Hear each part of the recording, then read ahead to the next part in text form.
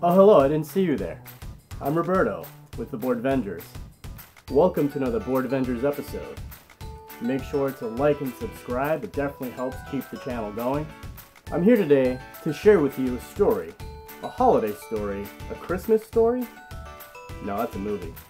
Let's get right into our story.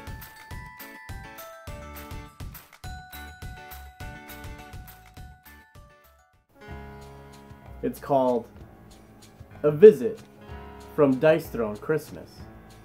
'Twas the night before Christmas when Dice Throne arrived. Santa and Krampus showed up. Oh dear, how contrived. The box was open and punchboard was punched with care, in hopes that Santa against Krampus rolls would be a spirited share. The leaflets were nestled all snug in their cover, while player boards on top they did hover. And finally time came to play to roll sixes. Out of the game trays they went without shock nor nixes. When out on the table there laid player Santa, I sprang to set up evil Krampus. What's the matter? All you need to do is believe, says Santa. We'll see who's jolly this year, Krampus candors. The table is set for this Christmas time battle. Let's see who goes first. The dice, let them rattle. When what to the wandering eye did appear, Santa goes first. His attack, game of reindeer. Cheer and eggnog was gained, seven damage was sent. Krampus deviled some eggs, nothing, time to vent. More rapid than light, Krampus went on the attack. He whistled and shouted, too late to backtrack. Bad tidings I give, now take this three coal. This damage I deal, six collateral felt in the soul. One look at Krampus, Santa knows he is naughty. Take cheer and 12 damage, I can tell you are haughty.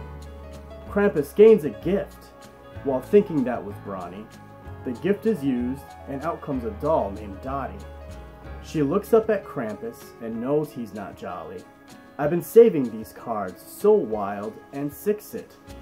Discomfort and pain, yes Santa, my ultimate. Another gift was gained and two rejects were drawn.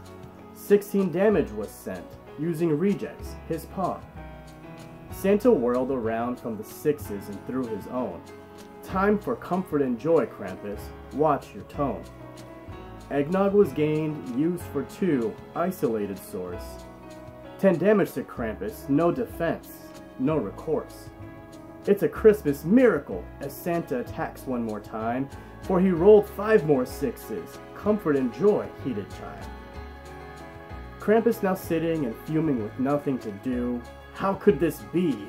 With clenched teeth he did spew, and little life left. Krampus tries to hold on.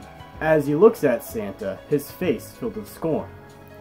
Santa rolls one last time and hopes to defeat the joyless Krampus, his opponent with club feet. With the third roll, Santa smiles. Ah, festivities and eggnog. I defeat you, old Krampus. This was great. What a slog. Staring at Santa with eyes full of fog, Krampus extends his hand. Great game. Such a jog. The players play again and all through the eve, switching back and forth and sharing with ease. One thing Dice Throne does is get families together.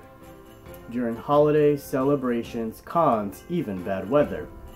My hope to you all is gaming with loved ones this season, for bonds deepen, even sweeten with this given reason.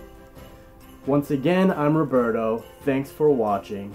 Like and subscribe to keep us rocking. One last thing before I go, before I leave your sight. Happy holidays to all, and to all, a good night.